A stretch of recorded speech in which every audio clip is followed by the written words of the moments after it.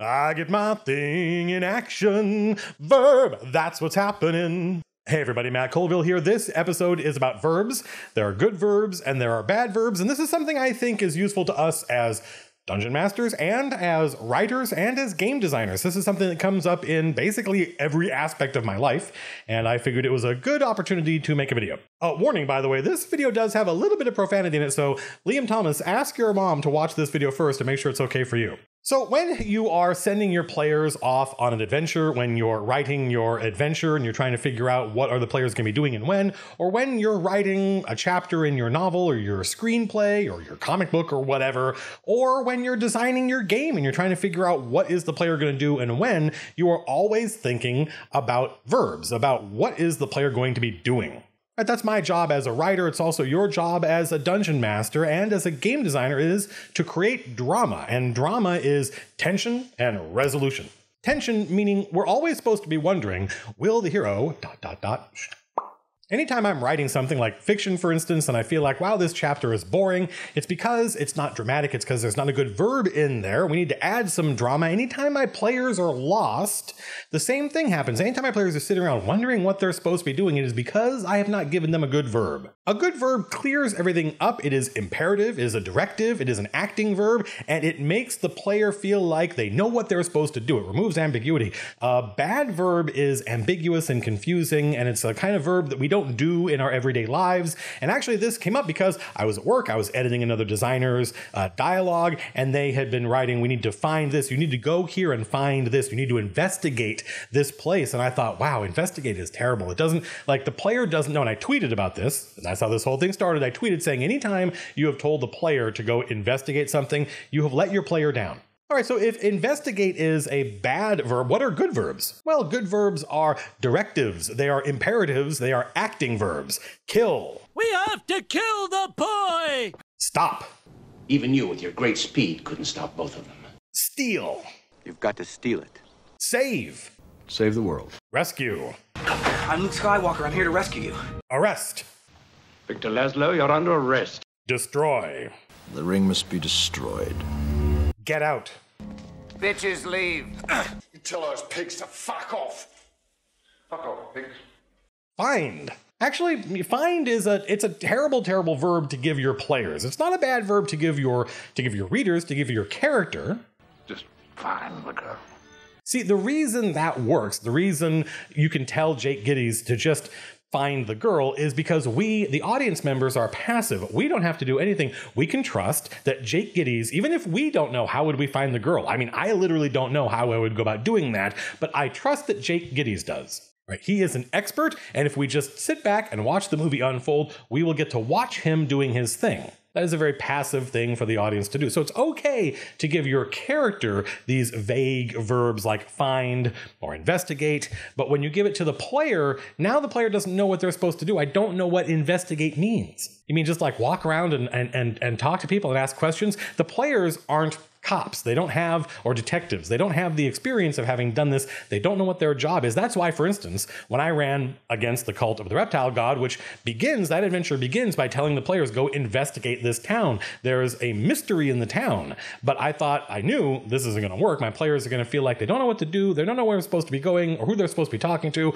or what, what is the result of investigation, right? All of the other verbs we used as examples have clear results. I know when the ring is destroyed. I know when we've saved the princess. I know when we've killed the boy. But I don't know when I'm done investigating. How will I know when I see it? Maybe I, I, often give my players answers and clues, and they don't realize their answers and clues because they're not investigators. This often works in a video game. You can tell a video game character to go investigate something because video game players assume and they're usually right, that if they just keep playing, that if they just stumble forward blindly, often not even paying attention to the quest text or the directive they've been given, that they will over time solve the problem that they're trying to solve. They will they will succeed in investigation, whatever that means. But I I don't take for granted that it's okay to give the player in a video game vague directives on the basis that if they just keep playing, it will resolve itself. I think it's always better for the player to understand what they're supposed to do. So, for instance, at work, I changed it from go investigate this place to go talk to a person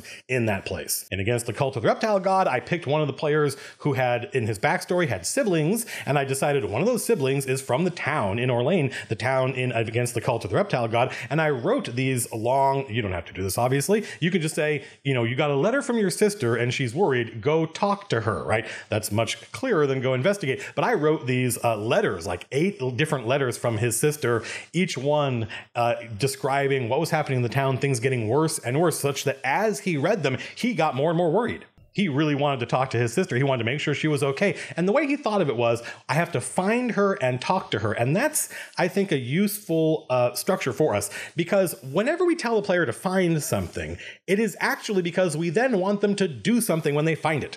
So give me that second verb, right? Tell me to go talk to this person. Don't tell me to go find this thing. Because having found it, presumably I'm supposed to do something with it, so give me that doing verb. Find is a very noir verb. You see this in a lot of film noir because the hallmark of film noir is a character plunged into a world they don't understand, where black and white are reversed, where good and evil are backwards, where they don't know who to trust. So if you want your character to be confused and not understand what's going on, noir is great. Tell them to go find something. In fact, in my first novel, the main character, Heden, is told to go investigate a murder, and he's not an investigator and doesn't know how to do it. And that's the whole point. And it would be a terrible adventure, right? If I made an adventure out of that first book, it would be awful because the players wouldn't know what to do. The main character, Heden, doesn't know what to do. He just bumbles around talking to people until eventually something happens. As opposed to a hard boiled story. Hard boiled fiction and noir both take place in the same universe. They both take place in a seedy underworld where good and evil aren't completely obvious. But the difference is the noir hero is lost and is confused and doesn't know what to do. But the hard boiled hero lives here and knows all the actors and speaks the lingo.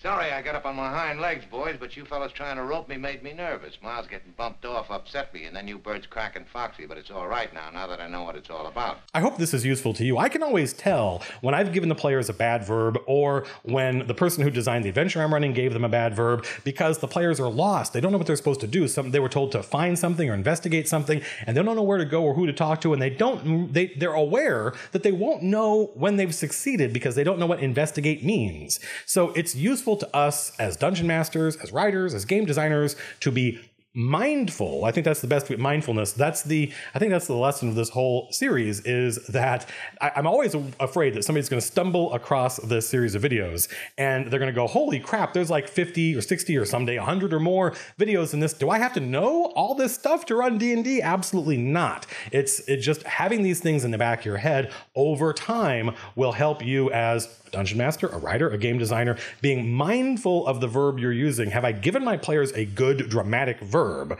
I think will help the proceedings along. Remember that adventure we started off with, uh, you know, last year, where a blacksmith bursts in, says goblins have kidnapped his daughter, and it's up to the players to find her. Yes, but then what? Rescue her. Again, no point in finding her if you do not then go on to rescue her. So don't say go find her. That's that's vague and ambiguous. Say rescue my daughter. And I think it's easy to put yourself as you're preparing your adventure. It's, I think, really easy to put yourself in your player's shoes and sit there and think, have I given them a good verb? Uh, do they know what they're supposed to be doing and how they're going to go about doing it? It's one of the classic problems of some of the older adventures. Like, for instance, if you run uh, the original uh, Village of Hommlet, which is the first intro, it's the intro to Temple of Elemental Evil, it's terrible when it comes to like the fact that there is a dungeon out there in the middle of the swamp and you start in this town and there's not really any clear way to get from here to here the players aren't given a good verb. Back in the day, the idea that there was a dungeon out there at all, that was the only verb they needed, right? As soon as the players would hear that there was a dungeon out there, they would drop whatever they were doing and they would go try to loot the dungeon. That's another good verb, go loot, which really means steal. But nowadays, I think we want better verbs than that. So when, if you, for instance, we're gonna, I think there's a, quite a lot to recommend, by the way, in T1, the Village of Hommlet, but it's up to you to come up with a good verb. For instance, the last time I ran Village of Hommlet, one of the players was a half orc, and he by himself went into the general store that was run by two members of this evil cult. And because they saw a half orc walk in, they presumed this guy was a bad guy and they gave him a chest with a bunch of potions and said, Take this to Lareth the Beautiful. I don't know what they called him. Uh, they, they might have called him the Chosen One or something like that in the moat house. So that was a great verb, right? Take this to him. That's it, folks. Mind your verbs. Until next time, peace out.